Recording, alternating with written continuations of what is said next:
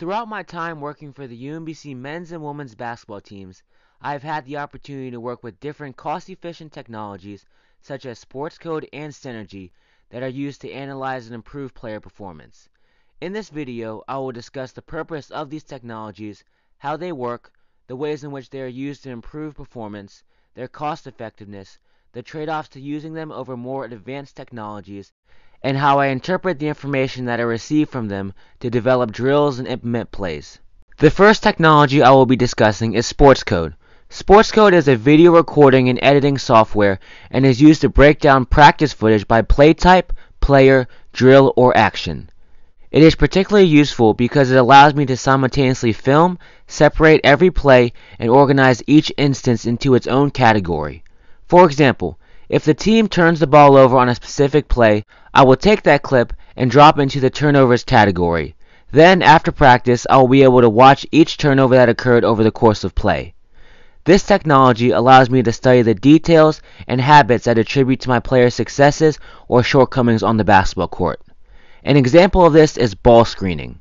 When I first began working with the UMBC women's basketball team, I recognized that many of my players were not properly angling their screens. On a ball screen, the screener is supposed to have their backside angled towards the basket, which gives the ball handler the ability to attack the rim more easily. My players were angled towards midcourt, which sometimes prevented the ball handler from going downhill. After recognizing this trend on Sports Code, I addressed the issue during practice and was able to fix a small but serious error.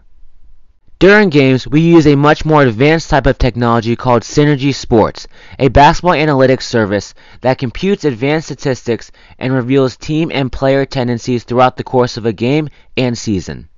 Examples of this include how frequently a team or player scores off of pick and rolls, in transition, on post ups, and in isolation. The way it works is simple. At the conclusion of each game, we upload our game footage to Synergy, and within 24 hours, the experts at Synergy will review the film, track stats, and will have a full analytical breakdown available to us at the palm of our hands. I personally love it because it gives me the opportunity to review data that was previously untracked or very time inefficient to manage. Synergy is also a great tool to use when scouting opponents as well. Included in our subscription is the ability to watch game film and analyze advanced stats from any college basketball program around the country. This gives me the ability to perform in-depth scouting reviews on opponents and game plan towards their strengths and weaknesses. For example, if we are preparing to play the University of Vermont, our division rivals, and Synergy tells us that Anthony Lamb, their star player, drives right 70% of the time, our staff will devise a game plan to force him to drive left. Or if the stats show that Anthony Lamb is a poor shooter off the dribble, the team will devise a strategy to ensure that there's a defender closing out on him after every catch to force him to put the ball on the floor. While there are more advanced statistical technologies available to college programs like Shot Tracker and SportVU, UMBC uses Synergy and SportsCode because of how cost efficient they are. For an annual subscription, it costs $1,500 for SportsCode and $6,500 for Synergy. This pales in comparison to Shot Tracker, which costs around $40,000, and SportVU, which will run programs up to $100,000. Because of budgetary reasons, six-figure expenses for stat technologies is something that our program cannot afford. For example, during the 2019-2020 season, the UMBC women's basketball team had a total budget of $368,000. Of that amount, nearly $150,000 was allocated towards travel expenses, 50,000 went to paying referees, another 50,000 went towards purchasing new gear and equipment, 40,000 went towards meals and food for the locker room, and 20,000 went towards recruiting expenses. While this leaves a team with approximately $50,000 to spend on miscellaneous expenses like sports code and synergy, it is not nearly enough money to afford more advanced technologies like Shot Tracker and SportVU. Though the downside is that our technologies cannot compute the amount of statistics that more expensive ones can, and they cannot compute statistics in real time, quite frankly, no team in our division has the budget to afford more expensive technologies either, so we are not competitively disadvantaged due to our lack of funding. When I review the analytical data computed by Synergy, I have found that scoring related statistics that show the types of scenarios that players excel or struggle in offensively are very important because they reveal the types of shots players should be taking as opposed to the ones they are and highlight the scoring situations in which our players are most and least efficient. For instance, towards the beginning of the 2018-19 season, Synergy revealed that one of our leading scorers was shooting an inefficient 34.2% in spot-up situations during the first month of the season. While this number increased to 35.4 the following month, it was still a rate that is alarmingly low given this player's overall shooting abilities. To work on this type of shot, every day after workouts, this player and I would practice the five spot shooting drill that requires a stationary player make 10 shots at the right corner, right wing, top of the key, left wing, and left corner to develop consistency shooting at each spot of the floor. Mastery of this drill would benefit him significantly given that the majority of his shots were created off of drive and kick situations where he was required to knock down the open shot off of dribble penetration.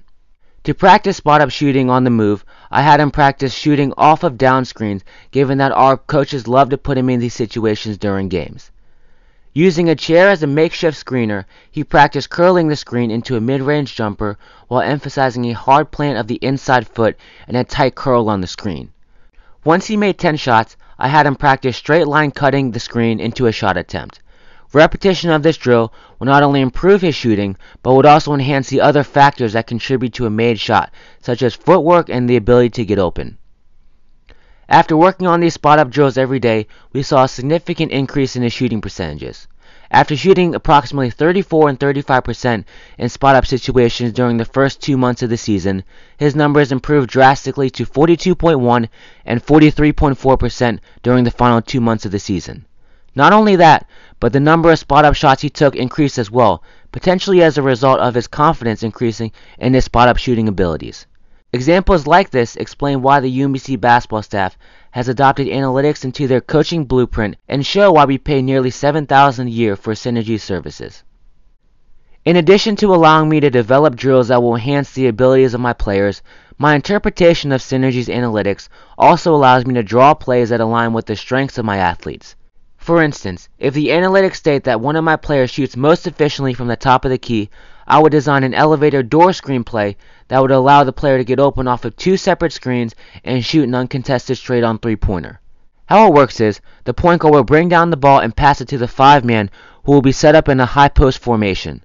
The point guard will then screen for the shooting guard who will be standing in the corner. The shooting guard will then pretend to curl the screen, the point guard will pop back out to the wing, the five man will pass the ball to the point guard, the 4 and 5 man will set a tight elevator screen for the shooting guard near the free throw line, and the shooting guard will run through, receive the pass from the point guard, and knock down the open shot. Since I began working with UMBC basketball, our coaches on both the men's and women's teams have relied on analytics to ensure that they are drawing plays that will put players in the most efficient scoring situations. These numbers have played a huge role in my personal development as a coach because they have allowed me to understand my players' strengths, weaknesses, and tendencies to a degree that will be impossible otherwise. As I continue using Synergy, I plan on deepening my understanding of the many other statistics that it offers in order to fully maximize the potential of my players.